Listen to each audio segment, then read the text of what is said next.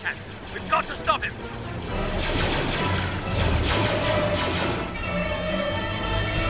Echo! Look out! Fives tried to warn me about the chips. But I didn't understand at the time. It's still hard to believe now. How did you boys find out about them?